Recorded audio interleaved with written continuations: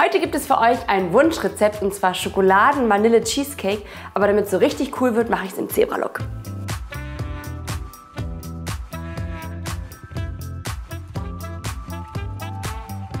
Bevor wir mit der künstlerischen Zebra-Füllung beginnen, brauchen wir erstmal einen Boden und dafür brauchen wir Butter. Die kommt in die Küchenmaschine. Wichtig ist, dass die Butter Zimmertemperatur hat, also schön weich ist. Wenn ihr keine Küchenmaschine habt, könnt ihr es natürlich auch mit dem Handrührer machen. Aber so ist voll geil, weil dann kann man in der Zeit was anderes machen. Zu der Butter kommt Zucker. Und das Ganze wird jetzt richtig cremig aufgeschlagen. Während das vor sich hinschlägt, können wir uns schon mal um die trockenen Bodenzutaten kümmern. Aber der Krach muss wieder an.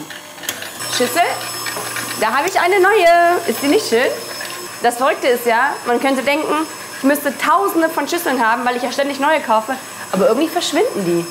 So wie Socken, Haargummis, Haarspangen. Komisch, oder? Naja, auf jeden Fall kommt in diese Schüssel jetzt Mehl, dann ein bisschen Backpulver, eine Prise Salz, ganz wichtig, wie immer bei süßen Sachen ein bisschen Zimt, einfach weil ich es gern habe. Und da ich einen Schokoboden machen möchte, Kakaopulver.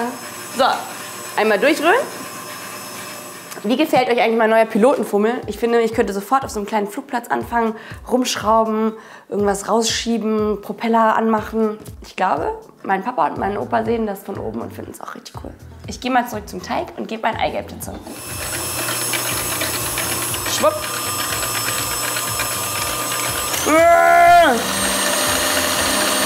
Wenn das richtig schön und dick aufgeschlagen ist, dann kommt ein Teil von unserem trockenen Gemisch drunter. Aber jetzt nicht mehr so dolle rühren. Wir wollen das Gluten im Mehl lassen und nicht zu einem zähen Teig verarbeiten. Und der Rest wird mit den Fingern erledigt. Juhu! Restlicher Mehlteig hier rein und jetzt so ein bisschen verkneten. Und auch das soll eher so krümelig sein. Wir drücken es gleich in der Form noch fest. Boah, es duftet schon voll nach Kakao, bisschen nach Zimt. Oh, richtig Bock. Ich bereite mal kurz eine Springform vor und vorher koste ich. So, die Springform. Damit es hübsch ist, schneide ich noch das Backpapier ab. Und nun wird der Boden reingedrückt. Wenn ihr super faul seid, könnt ihr natürlich auch einen Keksboden machen. Das heißt Schokocookies im Zerkleinerer mixen, dann mit Butter vermengen und quasi dann kurz im Ofen backen. Ich habe sowas zum Beispiel gemacht bei meinem Pumpkin Cheesecake, den verlinke ich euch jetzt hier oben mal. So ein selbstgemachter Boden schmeckt fast noch ein bisschen besser. Und deswegen habe ich mich bei diesem Kuchen, der ja so künstlerisch wird, mal dafür entschieden, das Ganze selber zusammenzurühren. Ich ziehe jetzt hier so einen kleinen Rand hoch. Und zwar, damit uns die Käsekuchenmasse nachher nicht davonläuft.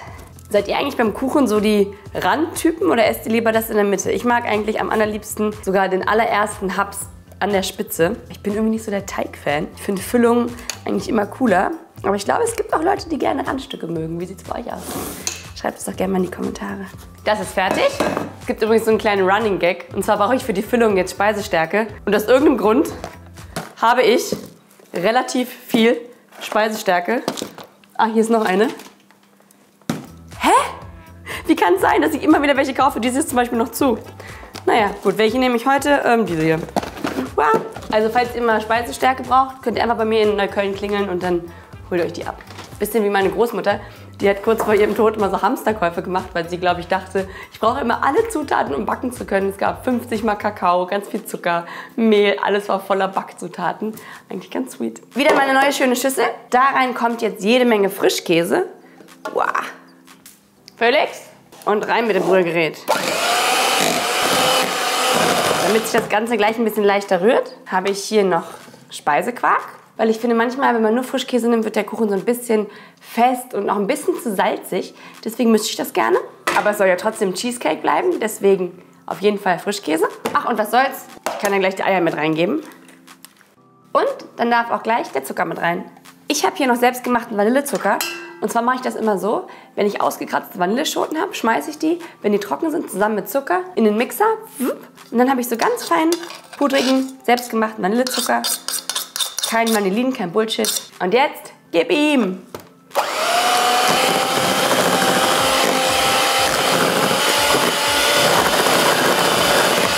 Für die Würze darf natürlich ein bisschen Zitronen- oder Limettenabrieb nicht fehlen. Ich finde, mit Schokolade ist irgendwie Limette ein bisschen geiler. Und für die Säure ein kleines bisschen Saft. Und weiter rühren. Für das Zebramuster muss die Masse relativ flüssig sein, deswegen gibt es noch einen kleinen Schluck Milch dazu. Weiter rühren. Und für die Bindung noch das Hamsterkaufprodukt im Hause Teen, die Speisestärke. Und nochmal verrühren. Oha. Nun kommen wir zum spannenden Zebratrick. Ich brauche zwei Messbecher. Und zwar teilen wir das beides auf. In die eine Hälfte kommt gleich die Schokomasse und in die andere die helle. Diese Hälfte werde ich jetzt einfärben. Und zwar wieder mit Kakaopulver. Ihr könnt natürlich auch Himbeerpüree nehmen zum Beispiel. Dann hättet ihr einen rosafarbenen Zebra-Cheesecake oder Lebensmittelfarbe in grün, blau oder Einhornfarben. Aber natürliche Zutaten sind ja eigentlich immer besser. Ihr könnt natürlich auch die Hälfte des Teiges in der Schüssel lassen. Dann ist das Verrühren ein bisschen einfacher. Und dann in den Messbecher geben. Aha.